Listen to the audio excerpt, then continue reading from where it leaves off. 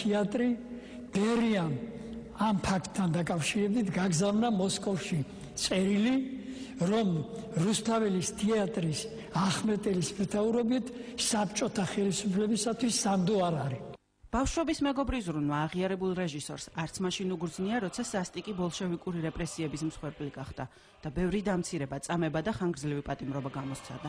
სანდრო ახმეტელის თანა პატრიოტი, მოღვაწე, ძალიან ბევრი იყო. პრინციპული მნიშვნელობა ენიჭებოდა იმას, ბოლშევიკები ცოტა სხვანაირი ხალხი იყო, რომ აი მე ჩემი იდეის იმდენად ერთგული ვარ, რომ ახლობლებსაც არ ვინდობ. მართალია სტალინსაც შეეძლო ბერიასაც შეეძლო მათი ხსნა, მაგრამ ეს მათ აი სწორედ რო პრინციპულად არ გააკეთეს.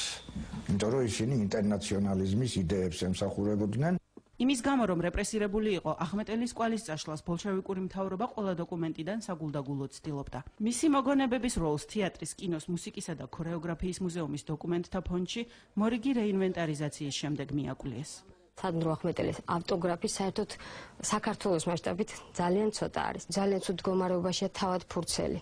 სასწრაფო რესტავრაცია საჭიროებს სულ ცოტა ხანში რესტავრაციაც გაუკეთება და ფართო საზოგადოებისთვის უკვე წარდგენა შეიძლება. ახმეტელის ჩანაწერები იანვრის ბოლოს ქართულ ენაზე გამოიცემა. ნაშრომი გამოჩენილი ქართველი მოღვაწეებისადმი მიძღვნილ ქართული კულტურის ოქროს ფონდში შევა.